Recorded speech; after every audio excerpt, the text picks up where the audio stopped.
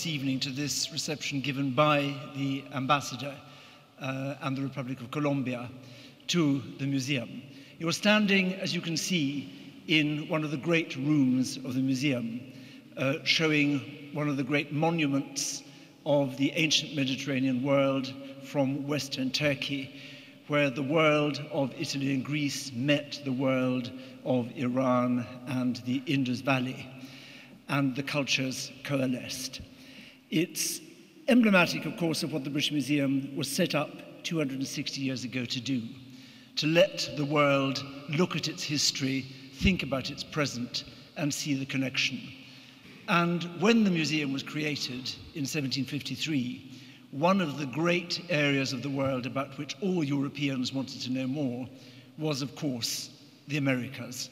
And above all, of course, South America, and above all, of course, about the gold of South America.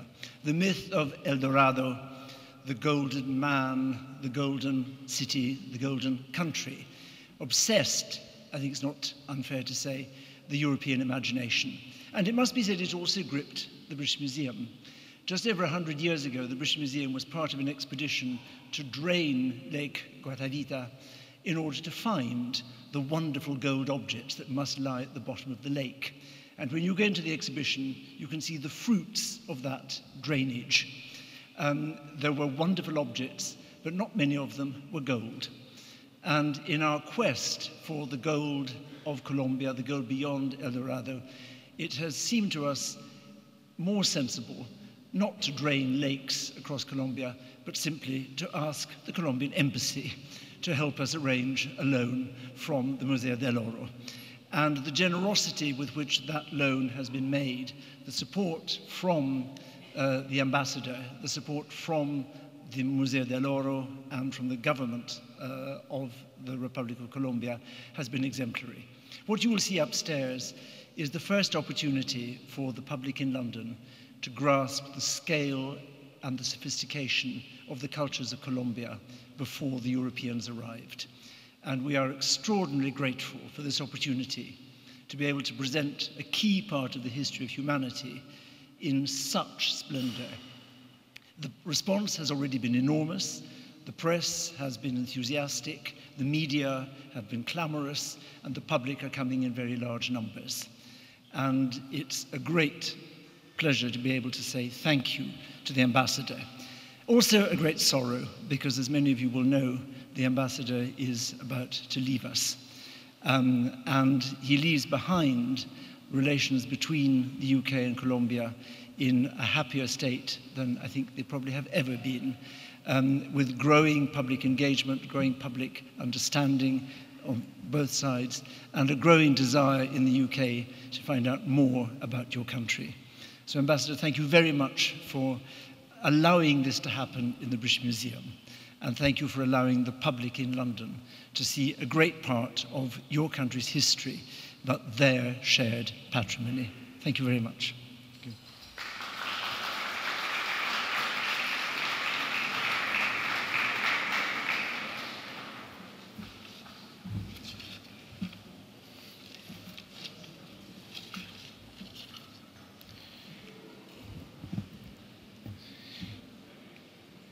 Good evening.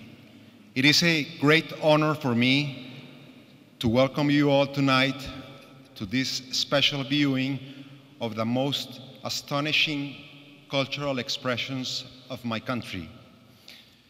As Colombians, we are very proud of our rich indigenous heritage.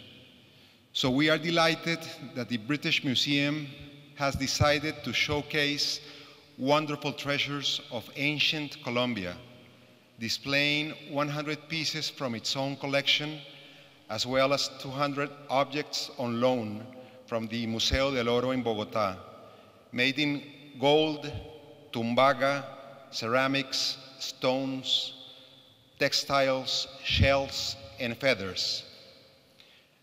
I wish to give our special thanks and congratulations to the British Museum Director, Neil MacGregor, and to the exhibition curator, Elisenda Vila Llonch, for putting together this extraordinary exhibition that presents imaginative artworks of our marvelous pre-Hispanic cultures.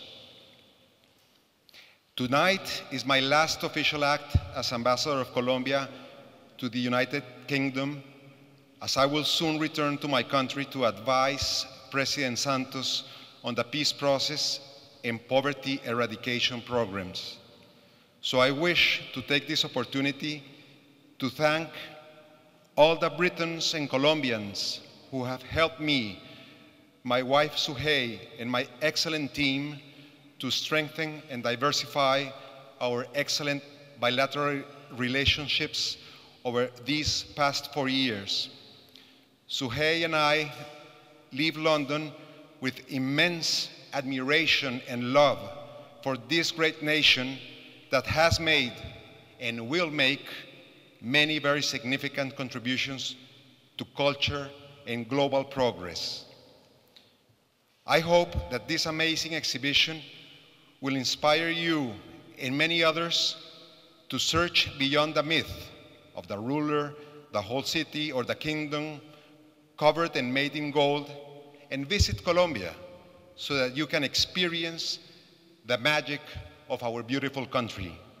Welcome to Beyond El Dorado, Power and Gold in ancient Colombia. Thank you.